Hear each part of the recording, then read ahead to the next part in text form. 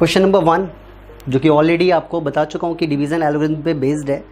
Question number two question number four और question number five इन तीन क्वेश्चंस के लिए एक सेम टॉपिक होता है शो दैट का, क्योंकि तीनों क्वेश्चन जो है question number two question number four and question number five इन तीनों क्वेश्चन में शो दैट करके कुछ लिखा होगा। तो शो दैट वाले क्वेश्चंस को आपने किस तरीके से ध्यान रखना है, उसके लिए मैं थोड़ा सा पहले एक इंपॉर्टेंट चीज़ बता दूँ। शो दैट टाइप के क्वेश्चंस में क्या करना है आपने? तो इसके आपके तीन केसेस हैं। अगर वहाँ पे आपसे बोला जाए इंटीजर्स या फिर नंबर्स नंबर्स पॉजिटिव बोला होगा वहाँ पे। पॉजिटिव इंटीजर और पॉजिटिव नंबर्स तो हमेशा ध्यान रखना है कि इस केस में आपने रिमाइंडर जो लेट करना है, वो ऑलवेज आपने क्या लेट करना है? ज़ीरो वन टू थ्री इस तरीके से सीक्वेंस में. ज़ीरो से स्टार्ट करना है. ज़ीरो वन टू थ्री अगर आपके पास शो दैट वाले क्वेश्चंस में बोला गया हो कि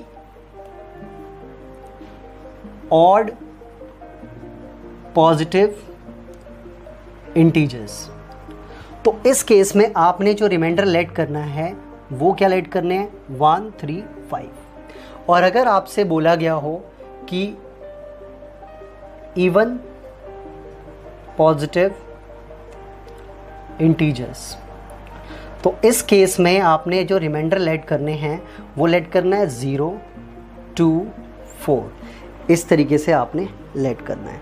तो ये कॉन्सेप्ट आपको पता होना चाहिए तभी आप उस क्वेश्चन में ध्यान रखोगे कि रिमाइंडर क्या क्या लेट करने होते हैं। तो ऑलवेज ध्यान रखना कि पॉजिटिव इंटीजर या नंबर बोला जाए तो आपने रिमाइंडर क्या लेट करना है? ज़ीरो वन टू थ्री और अगर आपको ऑड पॉजिटिव इंटीजर बोला जाए तो उस केस में आपने जो नोट करना है, उसमें क्या नोट करना है? रिमाइंडर को वन थ्री और फाइव और इवन पॉजिटिव इंटीजर अगर बोला जाए तो इस केस में आपने जो नोट करना है, वो रिमाइंडर को ज़ीरो टू फोर लेट करके लेके चलना है।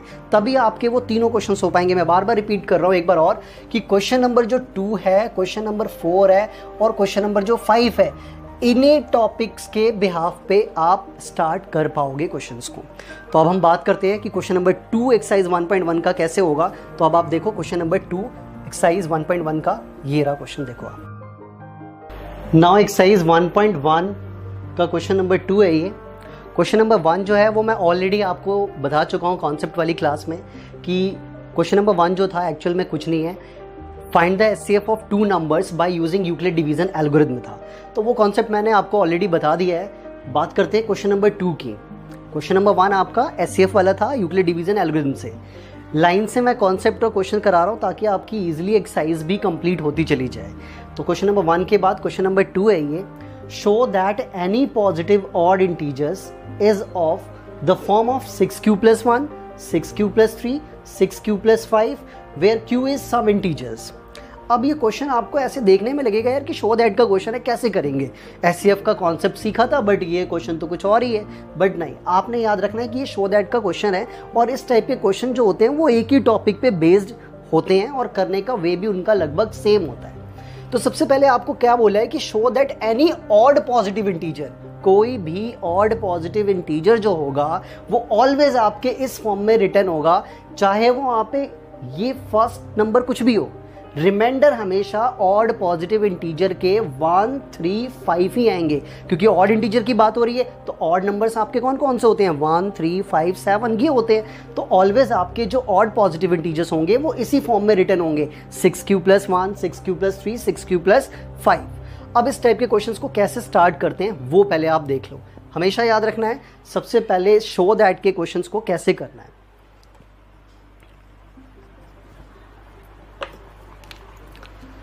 सबसे पहले आपने क्या करना है? Let a be any odd positive integer any odd positive integer आपने जो ए जो है, उसको आपने लेट कर लेना है कि वो कोई भी ऑड पॉजिटिव इंटीजर हो सकता है। बी आपने हमेशा जो लेट करना है, वो क्या लेट करना होता है? जो आपके यहाँ पे जो नंबर होता है उसको देख के आपने लेट करना है। तो यहाँ पे सिक्स है। तो आपके अगर यहाँ पे सिक्स है तो बी की वैल्यू भी आपकी कितनी आएगी? सिक्स आएगी। फिर बात करते हैं रिमाइंडर क्योंकि रिमाइंडर की वैल्यू तो फिक्स है कि वो रिमाइंडर की जो वैल्यू होगी, वो आपकी वन थ्री और फाइव होनी चाहिए। तो रिमाइंडर आप पहले ही जज कर लोगे वन थ्री और फाइव आएगी।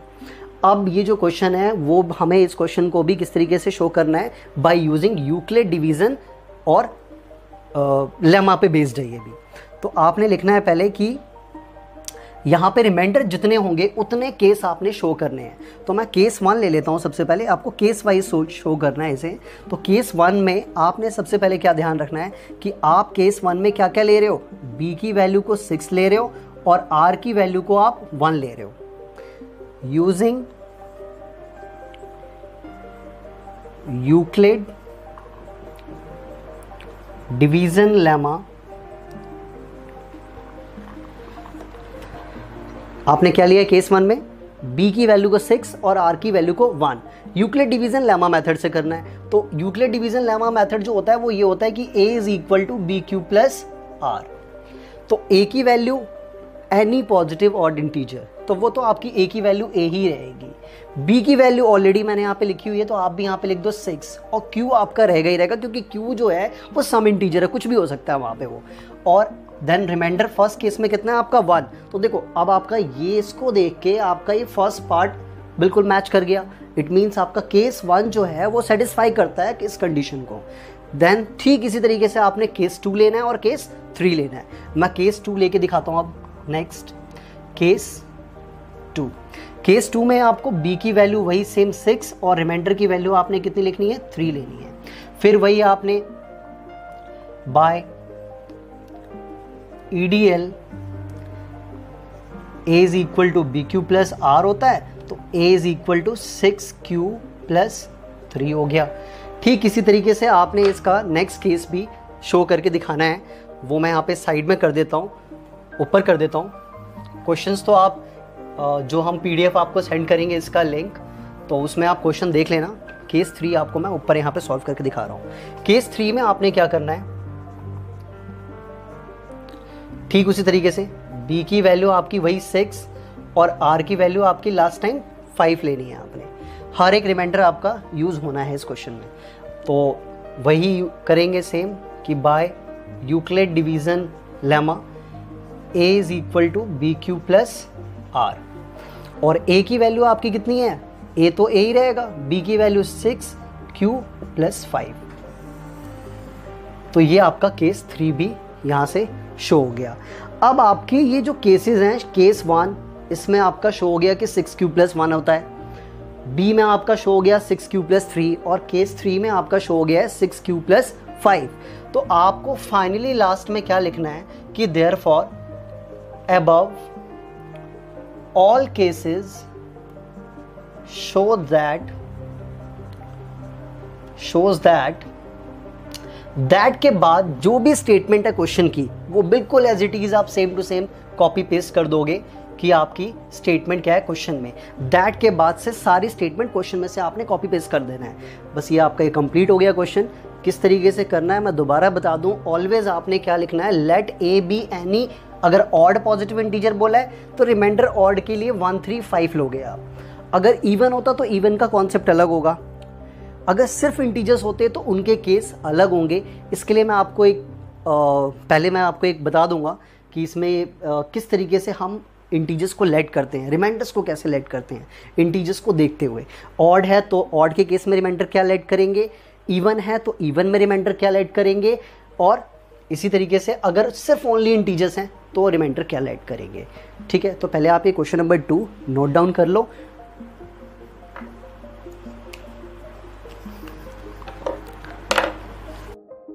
एक्सरसाइज 1.1 का क्वेश्चन नंबर जो फोर है, वो करेंगे। तो एक्सरसाइज 1.1 का जो क्वेश्चन नंबर फोर है, अभी आपने क्वेश्चन नंबर टू करा होगा। और मैंने ये भी बताया कि question number two four five तीनों एक कॉन्सेप्ट पे बेस्ड है, जहाँ पे मैंने आपको रिमाइंडर लेट करने की टेक्निक्स बताई थी कि आपने कब कौन से रिमाइंडर लेट करने हैं। अब इस क्वेश्चन को ध्यान से देखो, वो रिमाइंडर वाली कंडीशन आपको याद आ जाएगी कि use Euclid division lemma to show that the square of any positive integer is either in the form of three m three m plus one for some integers m अब यहाँ पे ना तो ऑड है, ना ही आपके पास इवन है. इट मीन्स ओनली आपके पास क्या है? पॉजिटिव इंटीजर है. तो पॉजिटिव इंटीजर के केस में रिमाइंडर्स क्या क्या ऐड करने होते हैं? ज़ीरो वन टू थ्री ऐसे कंटिन्यू आपने करते चले जाना है. तो आपने यहाँ पे क्या करना है कि रिमाइंडर तो पता लग चुका है आपको कि किस तरीके से लेट करना है. How to start the question कैसे स्टार्ट करना है? उसके लिए आपने क्या याद रखना है कि ऑलवेज आपने इस टाइप के क्वेश्चन पे सबसे पहले क्या लिखना है? कि let a b any positive integer ये भी कहीं से नहीं देखना क्वेश्चन में भी देख सकते हो आप। लिखा है क्लियरली कौन सा आपने लेना है? पॉजिटिव इंटीजर लेना है। ऑड होता तो ऑड पॉजिटिव इवन होता इवन पॉजिटिव नंबर लेते हैं अब आपको बी बी कैसे डिसाइड करते हैं? जो प्रूव करना है उसमें हमेशा जो ये न्यूमेरिकल वैल्यू होती है, उसको लेना है आपने। तो बी की वैल्यू आपकी कितनी आ गई? थ्री आ गई। अब रिमाइंडर के लिए मैंने आपको पहले ही बता रखा है कि रिमाइंडर आपने इंटीजर्स के केस में क्या ऐड करना है? ज़ीरो वन और टू और भी लेट कर सकते हैं बट यहाँ पे तीन लिखा है तो हम तीन केस ही दिखाएँगे। और मैक्सिमम आप हमेशा इस टाइप के क्वेश्चंस में मैक्सिमम आप तीन केस ही दिखाना। ठीक है? तीन से ज़्यादा केसेस मत दिखाना आप।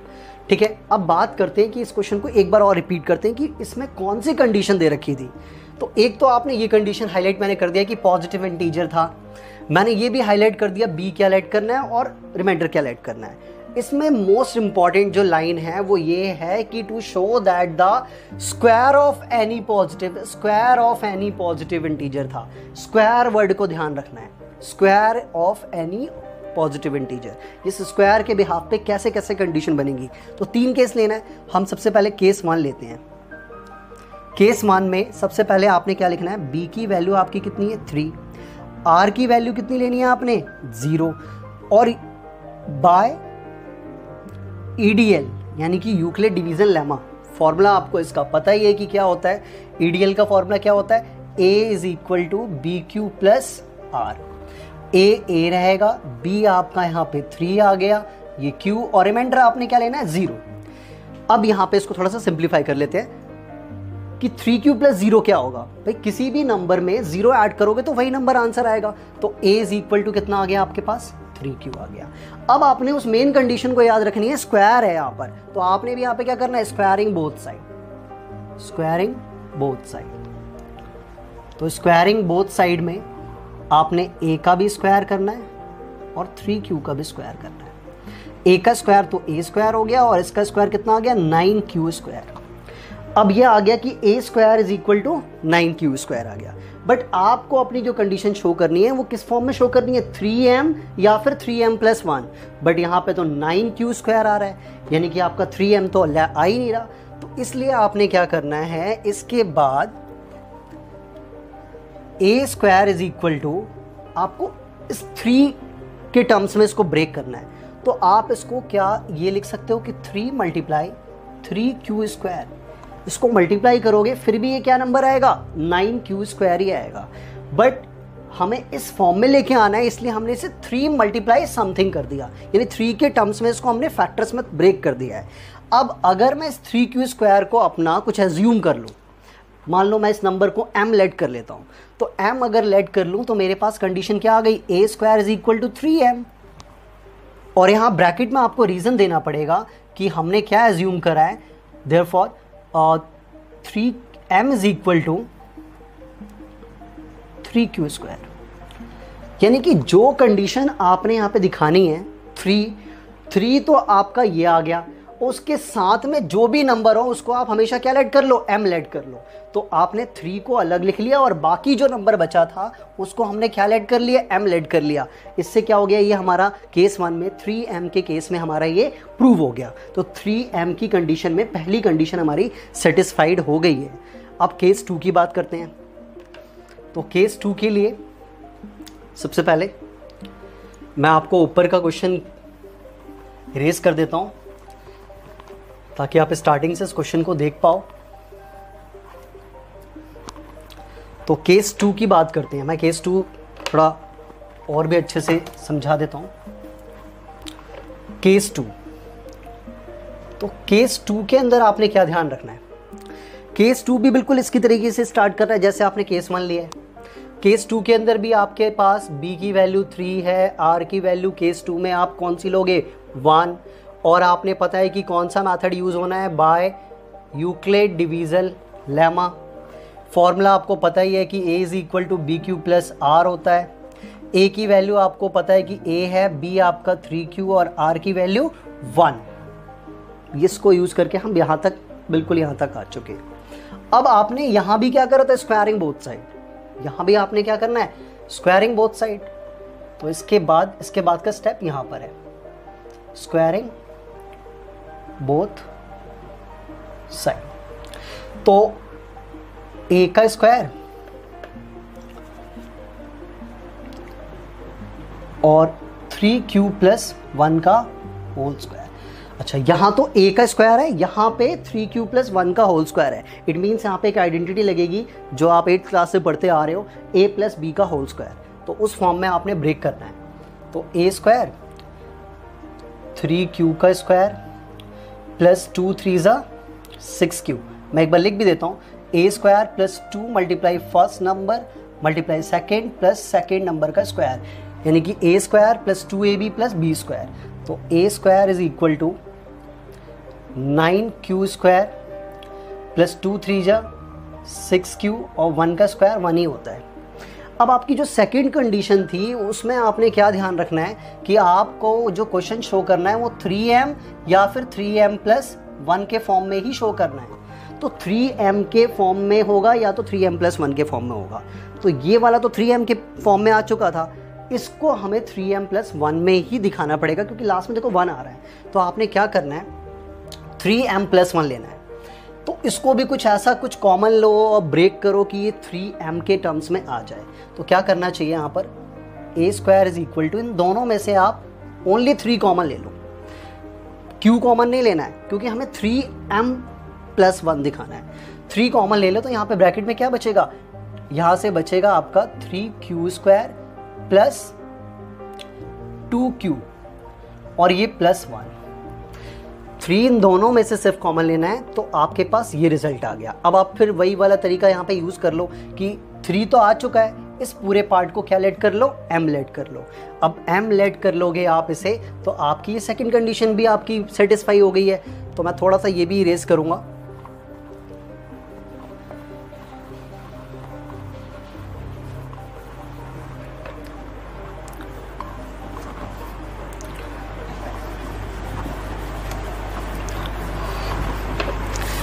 तो आपके पास क्लियरली आ चुका है कि three m plus one three m plus one और यहाँ पे मैंने क्या बताया कि आप रीज़न दोगे कि आपने m किस को लेट किया हुआ है तो आपने यहाँ पे m किस को एज्यूम कर लिया? Three q square plus two q को आपने m लेट कर लिया है। Three q square plus two q को आपने एम लेट कर लिया है। तो इससे आपकी ये कंडीशन सेटिस्फाइड हो गई है। तो केस टू हो गया आपका। इसी तरीके से आपने केस थ्री भी शो करना है, क्योंकि तीन केसेस दिखाने कंपलसरी होते हैं। तो अब केस थ्री आप देख लो। ये लाइन से केस आप नोट डाउन कर लेना, ताकि आपको पॉज करके आप इजीली आप पॉज करके, और एक एक केस को आप पहले राइट डाउन कर लेना, उसके बाद फिर आप नेक्स्ट केस उतारना। तो केस वन के बाद केस टू ये पूरा ये है। देन आप केस थ्री देखो, यहाँ पे आ जाएगा। तो केस थ्री आप देखो। केस थ्री में भी सेम ऐसे लिखना है आपने कि बी की वैल्यू आपकी कितनी है? थ्री और रिमाइंडर आपका लास्ट वाला कौन सा लेना है आपको? टू लेना है। और नेक्स्ट आपके पास by E D L a is equal to b q plus r होता है। ए की वैल्यू ये बी की जगह पे थ्री क्यू प्लस टू और फिर आपने इसमें भी क्या करना है? स्क्वायरिंग बोथ साइड इसके बाद का स्टेप यहाँ पे है। स्क्वायरिंग बोथ साइड इसका भी जैसे आपने इसका स्क्वायर किया था, वैसे इसका स्क्वायर करना है आपने। तो ए का स्क्वायर और यहाँ पे थ्री क्यू प्लस टू का स्क्वायर सेम ऐसे ही, जैसे आपने वहाँ पे किया था। ए स्क्वायर और यहाँ पे ए प्लस बी का होल स्क्वायर ओपन करना है। क्या होता है? A square plus b square मतलब ए का square plus two multiply first number multiply second number plus second number का स्क्वायर रिज़ल्ट आपके पास आएगा nine q square two two जा फोर थ्री ज़ा ट्वेल्व क्यू प्लस फोर अब आपको तो वो फॉर्म हमेशा याद रखनी है अपने माइंड में कि या तो ये थ्री एम आएगा या तो वो थ्री एम प्लस वन आएगा। अब यहाँ पे प्लस वन तो कहीं से आपको दिखाई नहीं दे रहा है। कुछ इसका है ना, ऐसा सेटअप कर लो, ऐसा ब्रेक करके कुछ सेटअप कर लो जिसमें आपके पास वन ज़रूर आ जाए। तो क्या कर सकते हैं यहाँ से? A square is equal to nine q square plus twelve q क्या मैं फोर को थ्री प्लस वन लिख सकता हूँ? इसे ब्रेक करने से दो फ़ायदे हो गए। एक तो इतने दूर से आपका थ्री कॉमन आ जाएगा और दूसरा आपके पास यहाँ पे वन बचा रह जाएगा। तो अब आपने फिर वही कॉमन लेने वाला मेथड यूज़ कर लेना है कि इतने दूर में से थ्री कॉमन ले लीजिए और जो बचे वो और प्लस वन और फिर बाकियों को एम लेट करके आपने सेम करना है। तो इसके बाद मैं आपको ऊपर दिखा रहा हूँ। वीडियो को पॉज करके आप केस टू कम्प्लीटली उतार लेना पहले ताकि मैं अब आपको ये वाला करा पाऊँ। ठीक है? तो एक बार ढंग से पहले आप ये पहले नोट डाउन कर लेना। देन केस टू में, इसके बाद का केस यहाँ पे ही लिख देता हूँ मैं।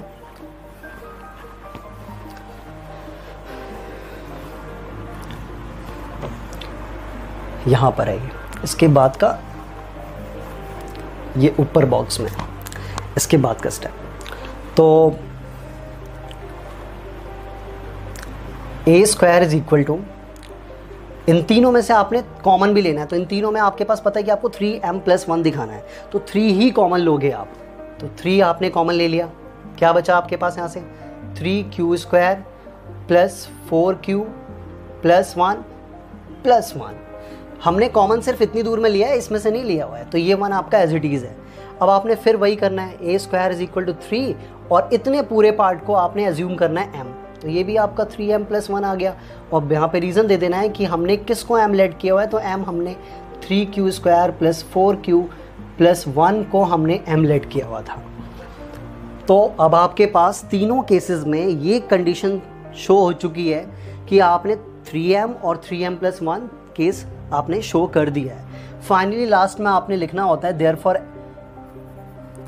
above all cases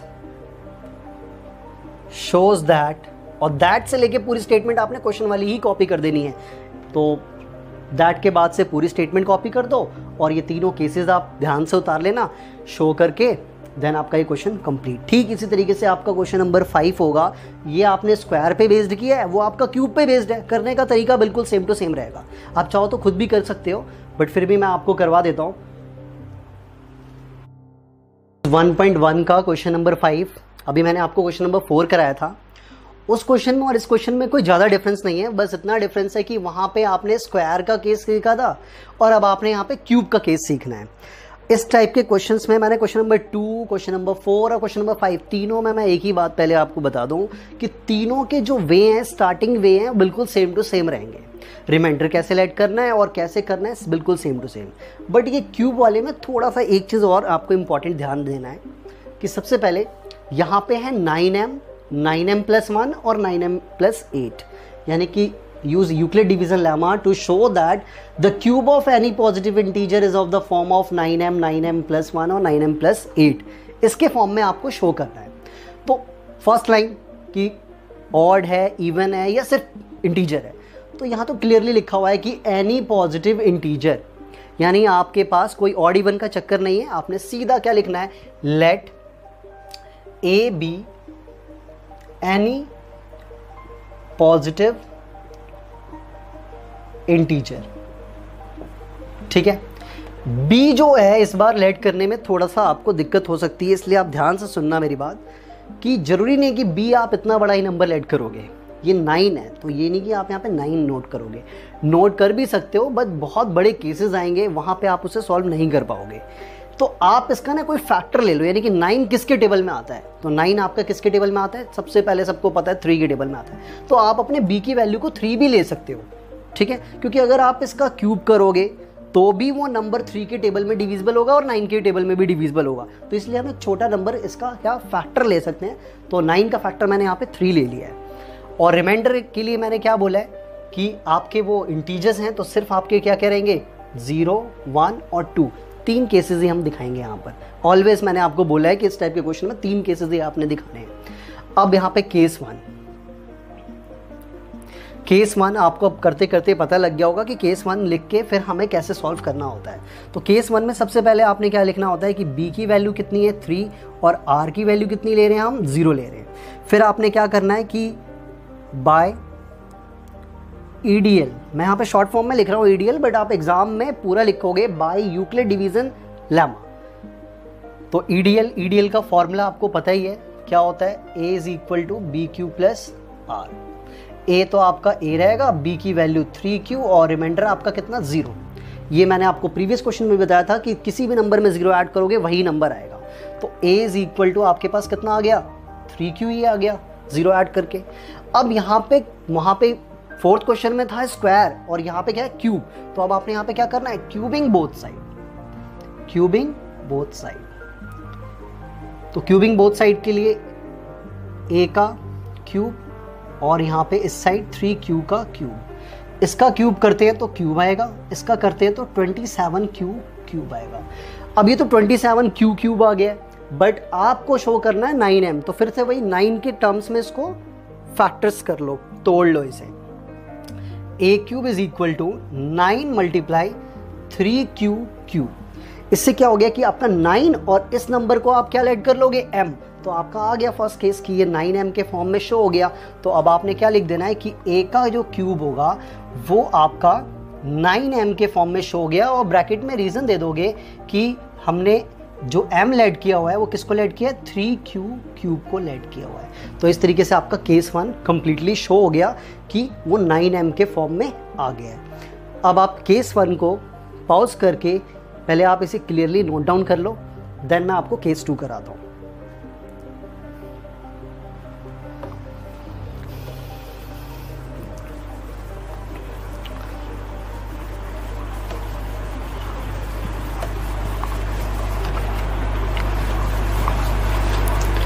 अब केस टू आप देखो। केस टू सेम वैसे ही बी इज़ इक्वल टू आप थ्री लोगे आर की वैल्यू आप वन लोगे यूजिंग यानी कि by E D L Euclid division lemma a is equal to आपको पता है बी क्यू प्लस आर होता है, और a is equal to b की वैल्यू आपकी थ्री है क्यू की वैल्यू आपकी क्यू रहेगी, और रिमाइंडर वन आ गया।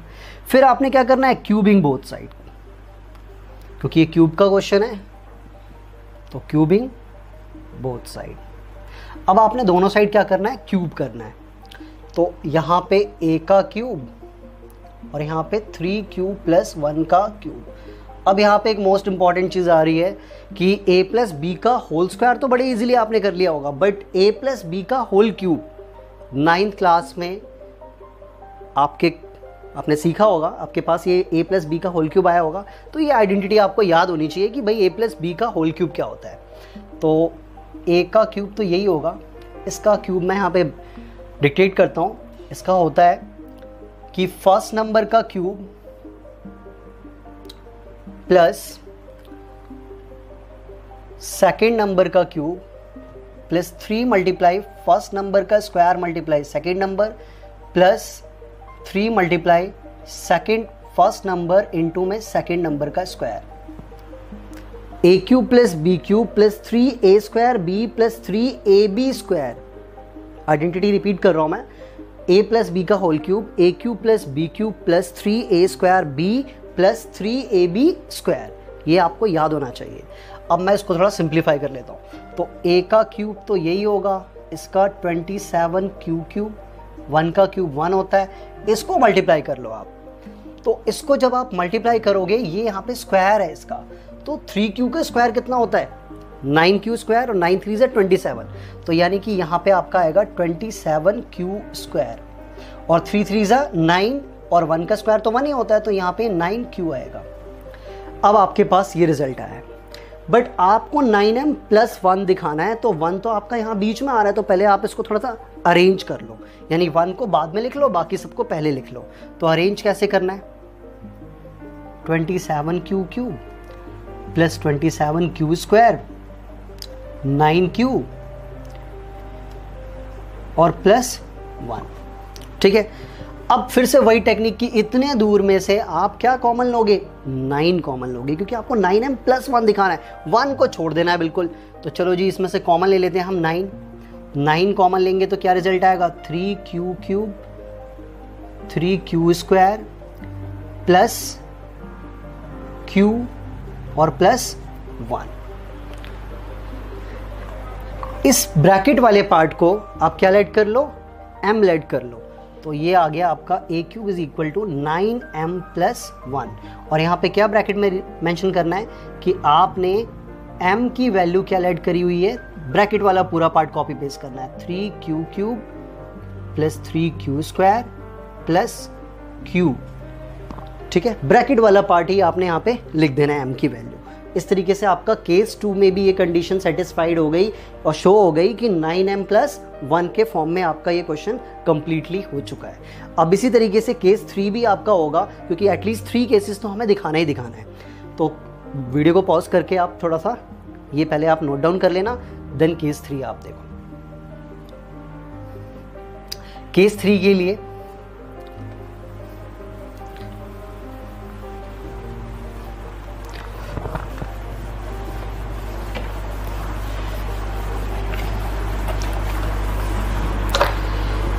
Now case three.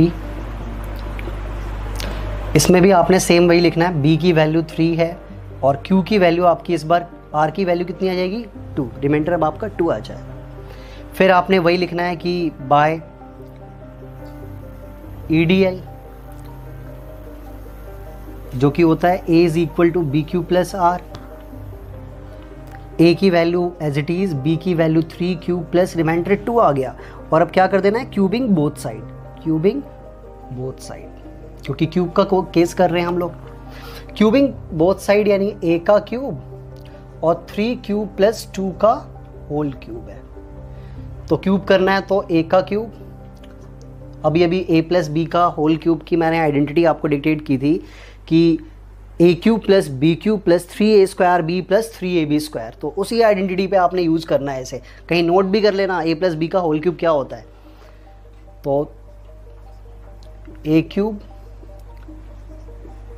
plus b cube plus three multiply, first number का स्क्वायर मल्टीप्लाई सेकेंड नंबर, और plus three multiply first number into में सेकेंड नंबर का स्क्वायर। ठीक है?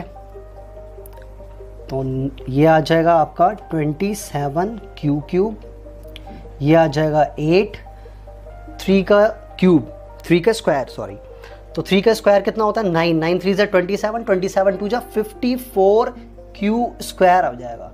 और ये थ्री थ्री सा नाइन और नाइन फोर सा थर्टी सिक्स क्यू हो जाएगा। फिर आपको वही वाला तरीका जो आपने ऊपर वाले स्टेप में किया था केस टू में कि आपने पहले से क्या करना है? अरेंज करना है, ताकि एट आपका बाद में आ जाए। तो a cube is equal to twenty seven q cube plus fifty four q square plus thirty six q plus eight फिर अब आपको पता है कि नाइन एम प्लस एट दिखाना था हमें। एट आ गया ना तो बस इनमें से क्या करो? नाइन कॉमन ले लो आप। तो a cube is equal to nine common लेंगे तो three q cube nine six fifty four होता है तो six q square thirty six होता है, और प्लस एट तो आपका है ही। फिर से इस ब्रैकेट वाले पार्ट को एम लेट कर लो आप। तो नाइन एम प्लस एट और ब्रैकेट में क्या लिखना है? कि ये जो भी ब्रैकेट वाला पार्ट है, उसको आप एम लिख दो यहाँ पे, कि हमने एम किसको एज्यूम किया हुआ है? Three q q plus six q square plus four q bracket वाला पार्ट यहाँ पे लिखना है। तो इस तरीके से केस वन में नाइन एम शो हो गया था। केस टू में nine m plus one show हो गया और केस थ्री में आपका नाइन एम प्लस एट भी शो हो चुका है। फिर आपने क्या लिखना है लास्ट में कि above all cases show that और दैट से लेके पूरी स्टेटमेंट हमेशा क्या करनी आती होती है आपको? क्वेश्चन में से ही कॉपी कर देना होता है। कि therefore above all cases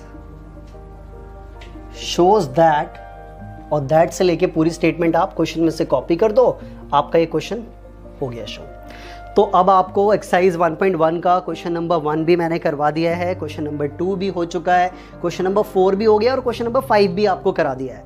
रह गया आपका बीच में क्वेश्चन नंबर थ्री उसके लिए मैं आपको थोड़ा सा एक हिंट दे देता हूँ, ताकि आप उसे भी बहुत ईजिली कर लो। उस क्वेश्चन में कुछ खास नहीं है। जब मैं आपको ये बता रहा था कि एस की पहचान आइडेंटिफिकेशन ऑफ़ एस तो उस टाइम पे मैंने कुछ वर्ड्स लिखे हुए थे। उन वर्ड्स को देखना और उस क्वेश्चन को देखना। उस क्वेश्चन में आपको क्लियरली मिल जाएगा कि क्वेश्चन नंबर थ्री में एक्सरसाइज नंबर 1.1 का जो क्वेश्चन नंबर थ्री है, उसमें एक वर्ड लिखा हुआ है मैक्सिमम और मैक्सिमम वर्ड को देखते ही बच्चे के माइंड में क्या आएगा कि हाँ जी, हमें क्या निकालना है? एस निकालना है। और एस जो निकालना है, उसके मेथड मैंने वैसे तो आपको चार बताए बट करवाए हैं दो। दो में भी आपको बताया था प्राइम फैक्टराइजेशन और एक डिवीज़न मेथड फिर हमने वहाँ पे यूक्लिड डिवीज़न लैमा और यूक्लिड डिवीज़न एलोग्रिथम सीखा है। बट आप टेंथ क्लास के बच्चे हो तो मैं आपको सजेस्ट करूँगा कि आप S C F always tenth class में जब भी एस सी एफ़ वर्ड आ जाए, आप ई डी ए से निकालना। यूक्लिड डिवीज़न एलोग्रिथम वाले मेथड से ही आप निकालोगे। अब प्राइम फैक्टराइजेशन से मत निकालना, क्योंकि प्राइम फैक्टराइजेशन का मेथड का यूज़ तो फोर्थ क्लास के बच्चे भी करते हैं, फिफ्थ के भी बच्चे भी करते हैं सिक्स के भी। बट हम टेंथ में हैं तो टेंथ क्लास के अकॉर्डिंग हमें ईडीए का ही यूज़ करना होता है। अब आपकी एक्सरसाइज 1.1 आज ये क्लियर हो चुकी है। ये आप एक सेपरेट कॉपी में बहुत अच्छे से पूरी एक्सरसाइज कंप्लीट कर लो। ये जस्ट जैसे इंस्टीट्यूट में मैं आपको पढ़ाता हूँ, उसी तरीके से बिल्कुल सेम टू सेम है।